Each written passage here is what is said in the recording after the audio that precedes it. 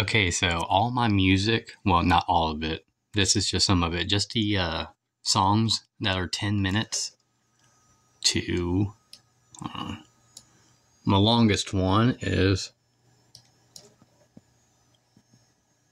six hours, 48 minutes, and 24 seconds. And I have a few songs that are over an hour long. And I have 325 total songs that are 10 minutes plus and that equals 51 hours and 4 minutes and 48 seconds.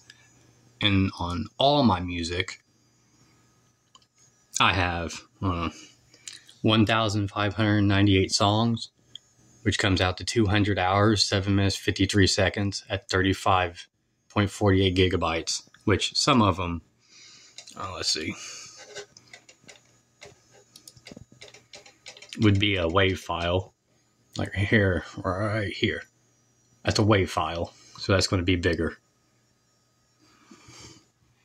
But that's all my music. Now, some of it I can't use because it uses music that I don't have the right to, and I don't want a copyright strike.